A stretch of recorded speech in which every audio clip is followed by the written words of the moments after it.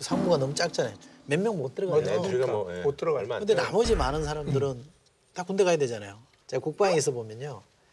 이 축구하는 사람들의 민원이 많이 들어옵니다. 음, 그러니까 국가대표 할 정도 실력은 안 된단 말이죠. 그럼 군대를 가야 되죠. 맞아요. 근데 평생 한 거는 축구밖에 없어요. 그렇죠. 그럼 이게 참 절망스러운 상황이에요. 그러면 현실적으로 잘 생각해 보면 축구하던 선수가 군대 가서 낮에 일과 시간에는 군생활 하고 저녁 일과 시간 이후에는 축구 연습하게 해주면 되거든요. 그 다음에 이른바 군대에서 하는 군대쓰리가를 운영하면 그럼 주말에 사람들 나와서 볼 차면 돼요. 축구하면 되거든요. 그러면 실력이 유지가 된다는 거예요. 음. 그러면 나와서도 또 뭔가 도전해 볼 수 있는데 아예 딱 가면 축구를 못하게 만들어 근데 버리니까. 그런 거 그런 거예요. 근데 그게 이제 생각보다 어렵진 않을 것 같아. 예산이라든지 뭐 이런 것 때문에 그런 거 아니야? 군인들하고 얘기해 보면 우선 생각 자체를 잘 안 바꾸려고 그래요. 음, 근데 그 당사자들은 진짜 절박하거든요. 기존의 군에 들어가서 그 사람들이 그런 활동을 하면 그거 자체가 군 내부의 아, 그 조성이라든지. 질서를 아. 유지하는 거나 또는 특혜로 미칠 수도 음. 있고 그러니까 군대에서 체육 특기자들이 그런 경력 단절이 안될 음. 수 있도록 네네. 하는 부대나 공간을 만들어 주는 게 필요하다고 생각하고요. 또 예술도 많거든요.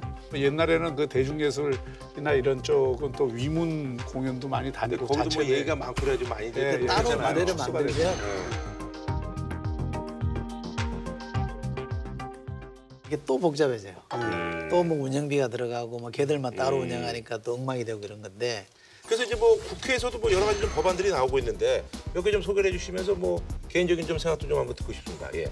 마일리지제라고 음. 해서 뭐 어디에서 뭐 하면 몇 점 음. 이렇게 이제 누적해서 이제 그렇죠. 세계 랭킹을 몇 점, 뭐 몇 점. 예. 연금이 사실 그렇잖아요. 그렇죠. 예. 그것도 이제 메달에 따라서 네네.